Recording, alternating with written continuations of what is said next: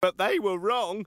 Mind you, even Arabian medicine couldn't have done much to save this fella. Stupid deaths, stupid deaths, they're funny cause they're true. Woo! Stupid deaths, stupid deaths, hope next time it's not you. Ah, next!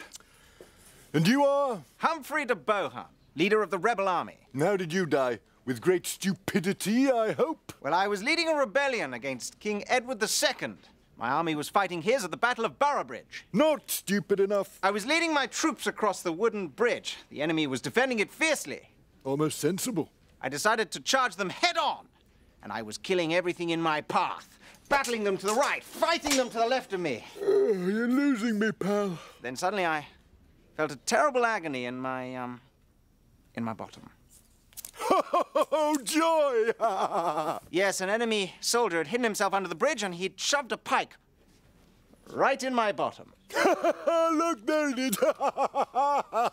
Ooh, hey, that must have been a real pain in the neck. Don't you mean pain in the backside? What I said, wasn't it? No, you said pain in the No, neck. I did. I said pain in the backside. I think it would said have been pain in the funnier if backside. you'd said I pain did- in the no, Well, it was be funny 'cause I said spontaneous, but the moment is backside, lost now, I? I did whatever, pal. Right. You're through to the afterlife. Off your trot. Thank you. Ooh, hey, he got a real bum deal. oh, I should have said that when he was in the room. Hey, you, you got a bum. Oh, he's gone. Why do you always think of things too late? Never mind. Next! Stupid deaths, stupid deaths. Hope next time it's not you.